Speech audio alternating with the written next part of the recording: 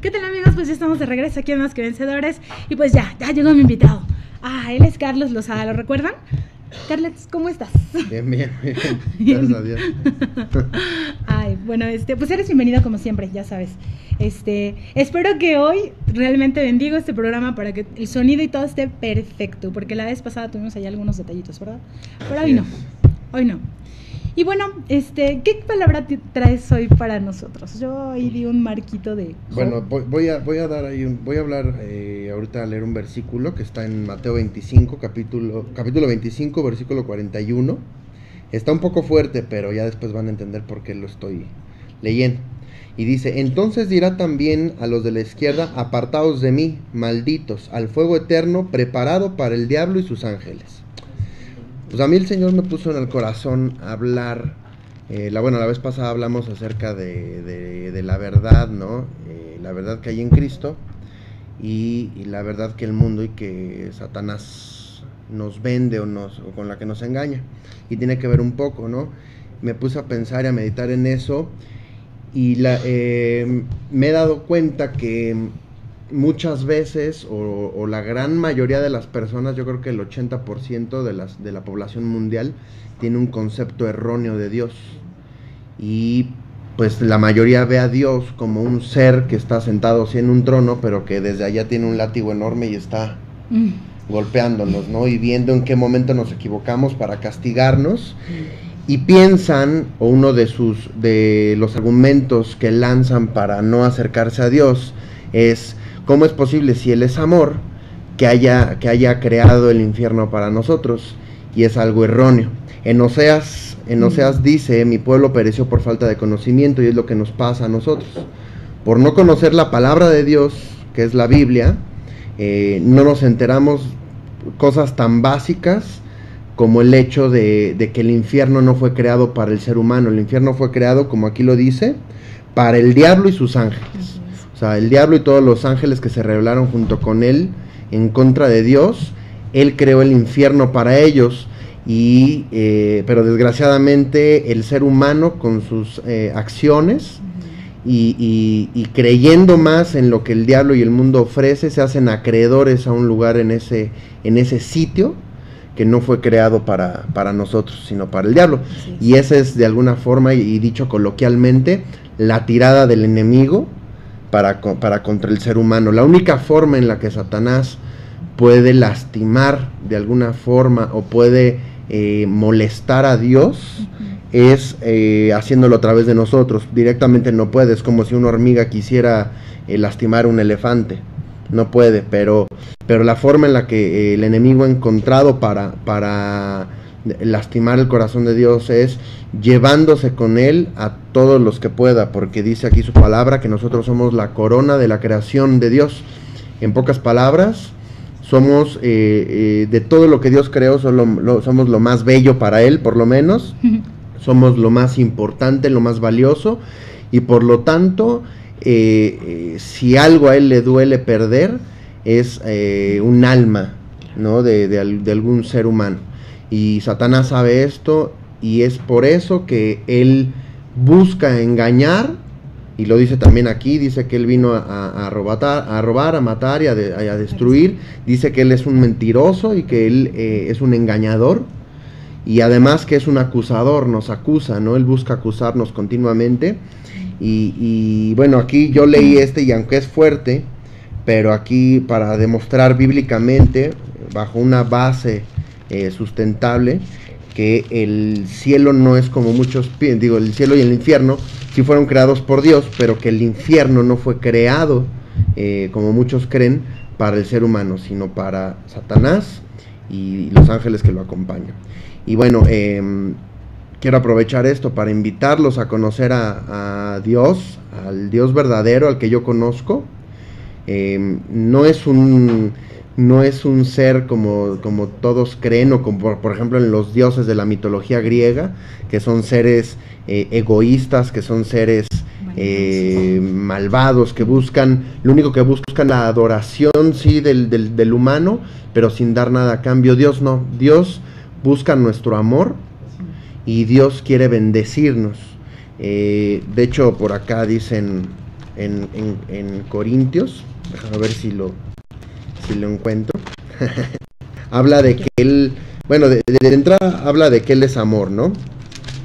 Que su amor es, ah, perdón, en Efesios, en Efesios 3, en el, en el versículo 14 dice, por esta causa doblo mis rodillas ante de nuestro Señor Jesucristo, de quien toma nombre toda familia en los cielos y en la tierra, para que os dé conforme a las riquezas de el ser fortalecidos con poder en el, nombre eh, en el hombre interior por su espíritu, para que habite Cristo por la fe en vuestros corazones, a fin de que arraigados y cimentados en amor, es plenamente capaces de comprender con todos los santos cuál sea la anchura, la longitud, la profundidad y la altura, y de conocer el amor de Cristo que excede a todo conocimiento, para que seáis llenos de toda la plenitud de Dios.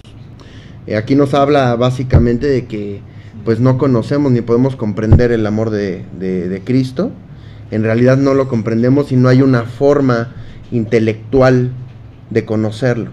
Solamente es a través de su espíritu, entrando en conexión con nuestro espíritu y siendo Él en nosotros, como nosotros podemos comprender el amor de Dios tan grande para, para nosotros, cómo es que Él eh, se preocupa por nosotros, eh, cómo es que Él eh, todo el tiempo está pensando en, en, hacernos el bien y como dice aquí, que Él quiere darnos conforme a las riquezas de su gloria.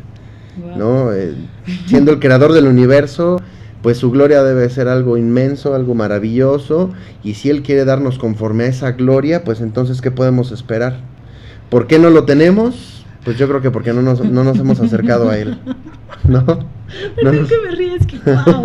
Es que lo que me está diciendo, ay, qué loco. Habla, habla. No, no, es que, es que su gloria es como Él, ¿no? Tiene anchura, tiene largura, tiene profundidad, o sea, Imagínate cuán inmenso que tiene todas esas medidas. Es como él, ¿no? Infinitas. Así es. Infinitas. Pero como dices, bueno, yo, yo aquí eh, hay dos cosas. Este, primero, algunos piensan que Dios no los ama.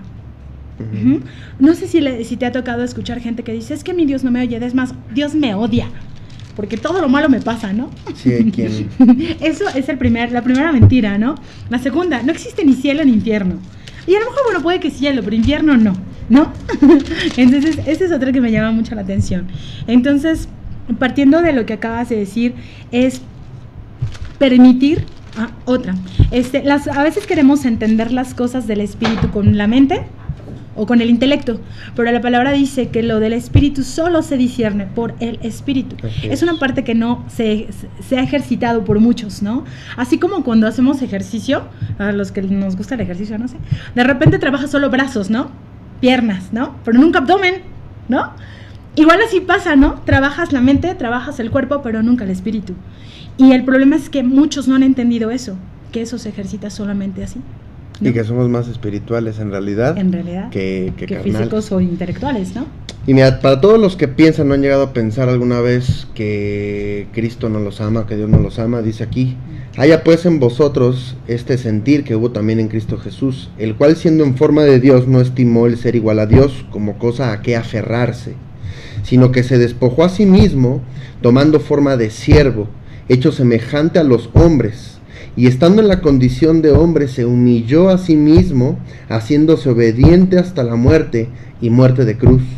Por lo cual Dios también le exaltó hasta lo sumo y le dio un nombre que es sobre todo nombre, para que en el nombre de Jesús se doble toda rodilla de los que están en los cielos y en la tierra y debajo de la tierra, y toda lengua confiese que Jesucristo es el Señor para gloria de Dios Padre.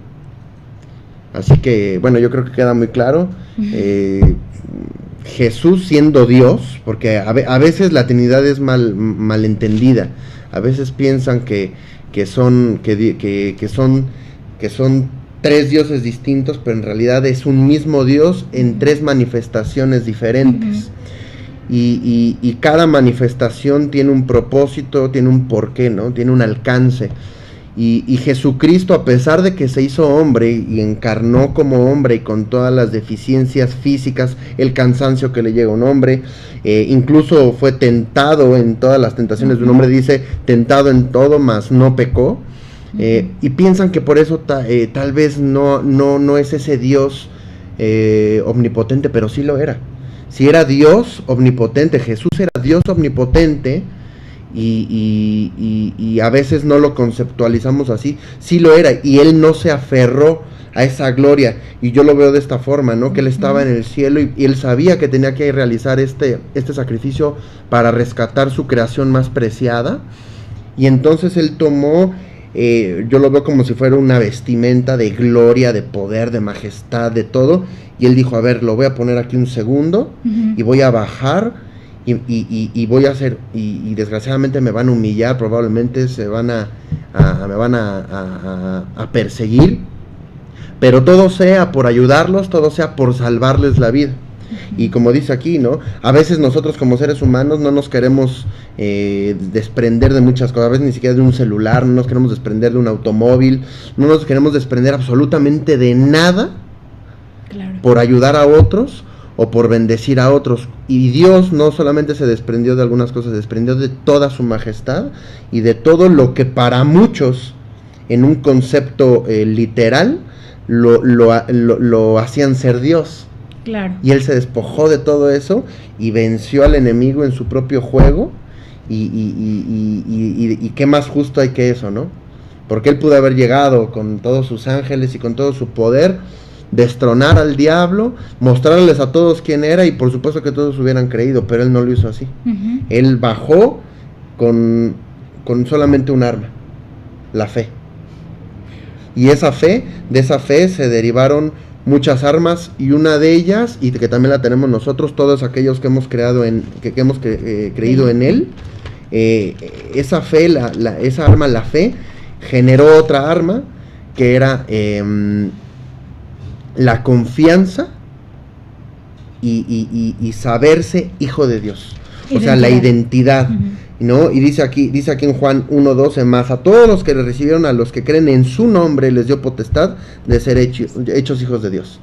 Y, aquí lo podemos ver, ¿no? Él nos da esa misma potestad, esa potestad que Jesús tenía, esa arma que él tenía, nos la dio a nosotros, ¿no? El saber que somos hijos de Dios, y si somos hijos de Dios, entonces necesitamos conocer su palabra para conocer cada una de las armas, de las bendiciones y promesas y todo lo que nosotros eh, tenemos derecho gracias al sacrificio de Jesucristo su Hijo. Wow. Estaba pensando ahorita que dijiste armas. A lo mejor algunos se preguntarán, ¿yo para qué necesito armas, no? ¿No? Bueno, pues si no lo sabes, estamos en una guerra una guerra entre el bien y el mal y sobre todo si crees en Jesucristo.